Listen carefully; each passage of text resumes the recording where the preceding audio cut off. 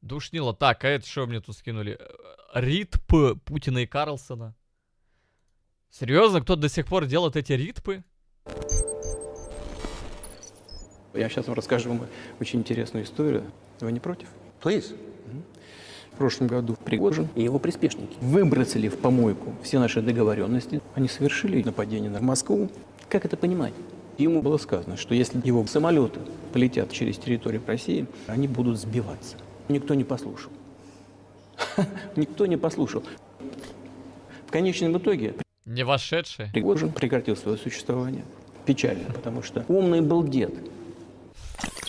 Я позволю себе 30 секунд или одну минуту маленькую историческую справку. да. А Когда началась Вторая мировая война, в начале 19 века правнук Богдана Хмельницкого отстранил от власти двух братьев, Рюрика и Сталина.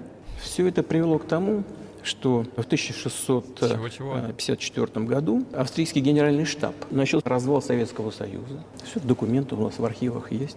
Да, а вот перед Первой мировой войной князь Владимир на машине поехал просто в путешествие в Варшаву, поэтому Гитлеру ничего не оставалось при реализации его планов начать именно с Польши. Чтобы думали, что я что-то придумал, Дима, дай-ка. Я, я не думаю, что вы что-то выдумываете. Нет, нет, нет. Все-таки вот я вам их оставлю на добрую память. Окей, а где ритп? По ощущениям, как будто и правда не вошедшие. Кстати говоря, советую подписаться на канал No Fake. Все видео посмотрел. Было бы смешно, если бы не было так грустно.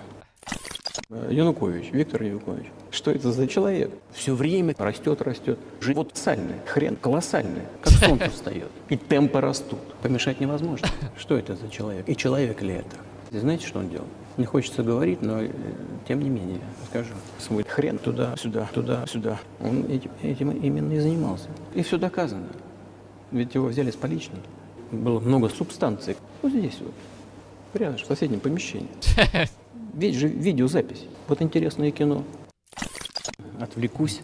А, Это личная история. Я стал президентом в 2000 году и принял власть князя на э, законодательном уровне. Позже с помощью силовых акций ликвидировал оппозицию. Что касается российского населения, на выборах послушно голосуют. Даже если им чего-то не нравится. Потому что я вот внедрил уже чип в мозг русского народа. За счет этого и победил на выборах с огромным преимуществом. В этом году мне тоже хотелось бы примерно э, 80% вентиля под крутым будет 80%. О. А еще меня в накрутке обвиняют. Да вы вот посмотрите, что у вас президент делает. Я Я думаю, что все это прекрасно понимают. тоже Закон- накручиваю.